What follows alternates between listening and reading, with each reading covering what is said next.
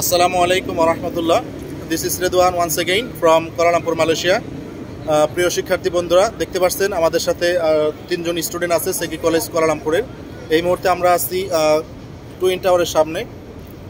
দেখতে পাচ্ছেন আহ, twin tower আপনাদের সাথে শেয়ার করতে যাচ্ছি। অনেকেই জিজ্ঞাসা করেন যে আমি মালয়েশিয়াতে পড়ালেখা করব। বাংলাদেশ থেকে ইন্টারমিডিয়েট কমপ্লিট করছি অথবা এসএসসি করছি। আমার জন্য কোনটা করলে ভালো হয়? অনেকেই নিজেদের ডিসিশনে নিজেরা জানেন না।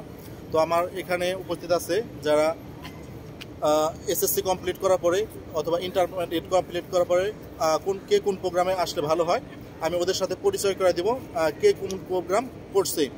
তাহলে চলুন ওদের সাথে আপনাদেরকে পরিচয় করে দিই।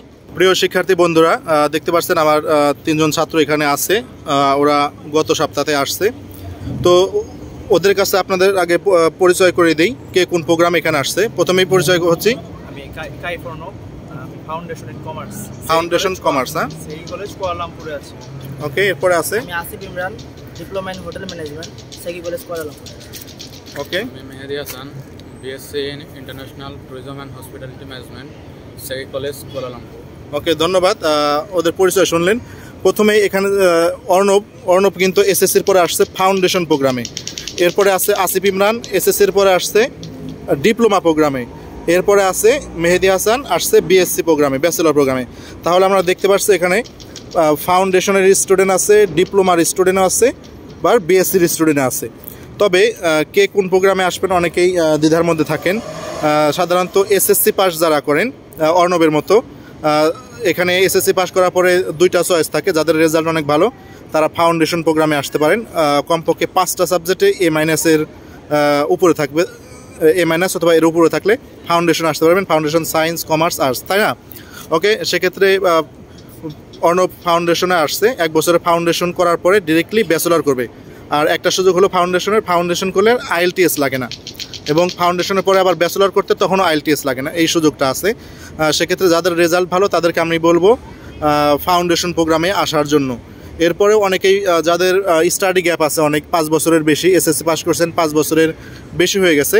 তাদেরকে বলব রেজাল্ট ভালো থাকলেও ফাউন্ডেশনে না এসে ডিপ্লোমাতে আসার জন্য, যাতে বিচার রিজেকশনের কোনো ভয় না থাকে।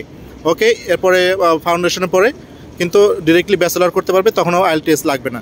এরপরে আসিফ ইমরান, যেটা আসিফ বলল, আসছে ডিপ্লোমা প্রোগ্রামে ডিপ্লোমা হোটেল ম্যানেজমেন্টে।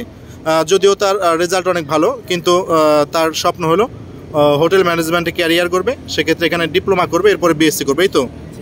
ওকে সেক্ষেত্রে অনেকেই যারা জিজ্ঞাসা করেন, ভাই, আমি এসএসসি পাস করছি, আমি কোনটা আসলে ভালো হয়? আসলে নিজেদের পছন্দ নিজেই করতে হবে ফাউন্ডেশনেও আসতে পারেন, অথবা আসিফের মতো ডিপ্লোমাতেও আসতে পারবেন। পাশাপাশি মেহেদি হাসান আছে, যাদের বাংলাদেশ থেকে ডিপ্লোমা সরি এসএসসি এবং ইন্টারমিডিয়েট কমপ্লিট তারা এখানে ভালো রেজাল্ট যা থাকলে সরাসরি ব্যাচেলর প্রোগ্রামে আসতে পারবে, যেটা মেহেদি হাসান আসছে, তাই না? মেহেদি হাসানের program BSc in international tourism and hospitality management তাই না? সেক্ষেত্রে আইএলটিএস অবশ্যই লাগবে, তাই না? ওকে সেক্ষেত্রে মেহেদি হাসান তো এখানে পড়ালেখা করতেছো under university of Sunderland UK degree তাই না? ওকে যাই হোক প্রিয় শিক্ষার্থী বন্ধুরা এটাই আমার আপনাদের অনেক প্রশ্ন থাকে যে কি করব আমি নিজেই জানি না। তাদেরকে বললাম এখানে অপশন আছে অর্ণবের মতো। ফাউন্ডেশনেও আসার সুযোগ আছে ডিপ্লোমাতেও আসার সুযোগ আছে আবার সরাসরি ব্যাচেলর প্রোগ্রামে আসারও সুযোগ আছে।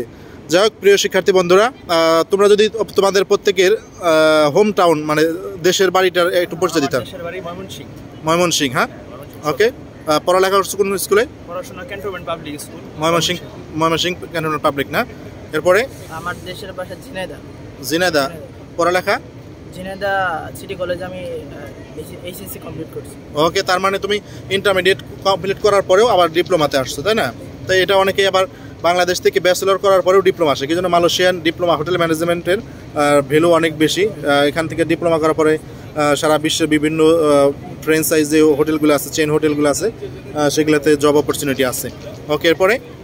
আমার হোম টাউন যশোর। আমি আব্দুর রাজাক মিউনিসিপাল কলেজ থেকে ইন্টারমিডিয়েট কমপ্লিট করেছি। ওকে ধন্যবাদ। তাহলে শুনলেন ওদের বিভিন্ন জেলা একজনের যশোর একজনের ঝিনাইদা একজনের ময়মনসিং আহ, যাই হোক প্রিয় শিক্ষার্থী বন্ধুরা আপনাদের যদি কোনো প্রকার প্রশ্ন থাকে মালয়েশিয়া পড়ালেখা বিষয়ে ওদের সাথে সরাসরি কমিউনিকেট করতে পারবেন বা আমাদের এখানে কমেন্টস করতে পারবেন আমরা যে কোনো প্রশ্নের উত্তর দেবো ইনশাল্লাহ ধন্যবাদ তোমাদের সকলকে। ওকে